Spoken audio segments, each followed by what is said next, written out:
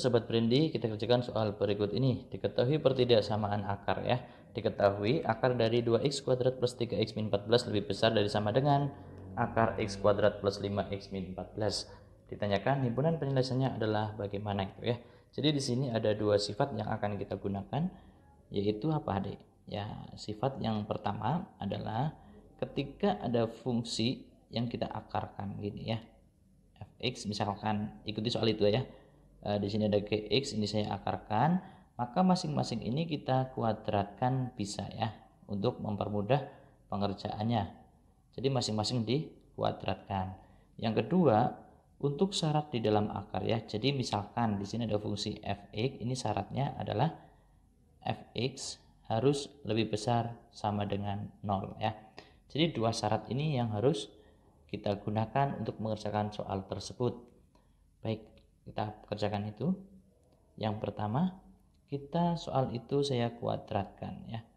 Di sini ada nilai dari 2x kuadrat plus 3x min 14 lebih besar dari uh, x kuadrat plus 5x min 14 jadi fungsi ini masing-masing saya kuadratkan gitu ya ya.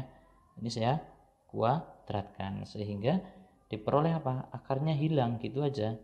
Ini 3x min 14 lebih besar dari x kuadrat plus 5x min 14 kemudian pindah ruas ya ya. Yang di sebelah kanan ini semuanya pindah ke sebelah kiri. Sehingga akan saya peroleh oh ya ini sama ini hilang ya 14 nya diperoleh apa? X kuadrat 3x ditambah kurangi 5x berarti min 2x lebih besar sama dengan 0 saya faktorkan x min 2 sama dengan 0 dulu nggak apa-apa karena mempermudah untuk pencarian nilai x nya gitu ya. Nah kemudian berarti kita perlu apa? X sama dengan 0 atau x sama dengan 2 gitu ya ya. Langkah selanjutnya langkah selanjutnya tinggal kita substitusikan menggunakan garis bilangan ya. Di sini nilainya adalah berapa? 0 dan 2 gitu ya Nah ini kan ada sama dengannya semuanya ini penuh ini berarti ya.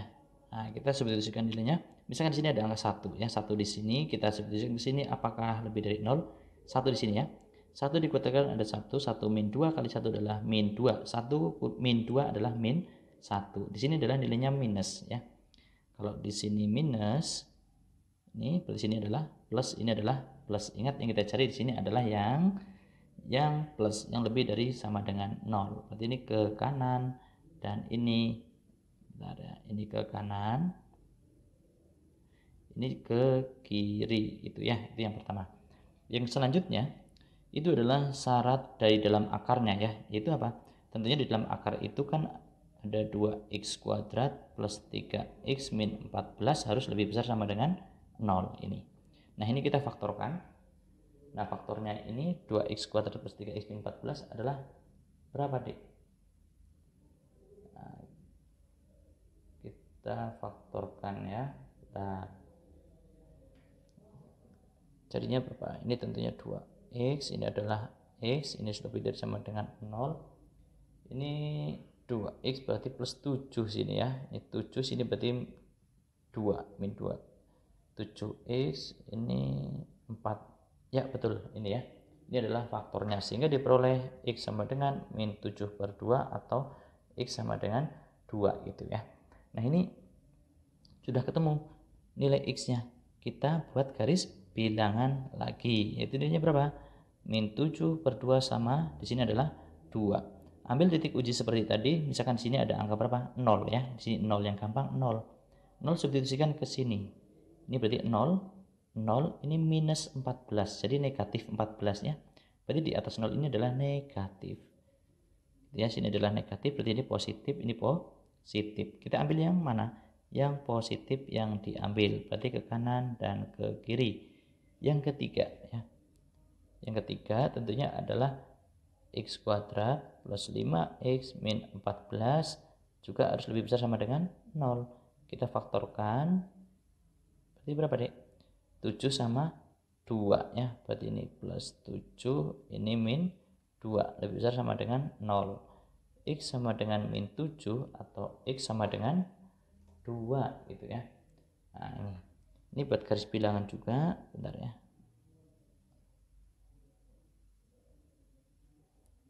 Kita buat garis bilangan. Di sini nilainya adalah min 7 dan di sini adalah 2 di antara itu ambil 0 yang gampang itu ya. Sini lagi 0 0 ini adalah min. Berarti di atas 0 nilainya adalah minus. Ini adalah minus berarti sini adalah plus ini adalah plus. Kita nyari yang plus ke kanan dan ke kiri.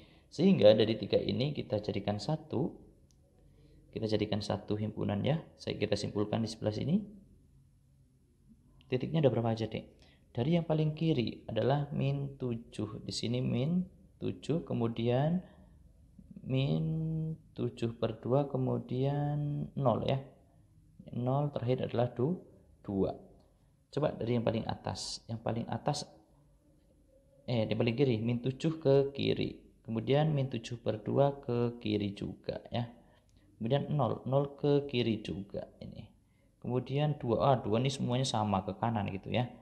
Ini duanya ini ada tiga ini sebenarnya tapi ke kanan semua ya. Ini ada tiga ini ini ada tiga sebenarnya tiga garis gitu ya. Nah ini tentunya dari sini kita bisa lihat manakah yang memenuhi tiga tiganya dek ya. Tiga tiganya berarti ini. Satu ini, ini kan tiga kan? Ini juga sama tiga. Jadi himpunannya bisa disimpulkan bahwa himpunannya yang memenuhi adalah berapa? Bentar saya scroll dulu.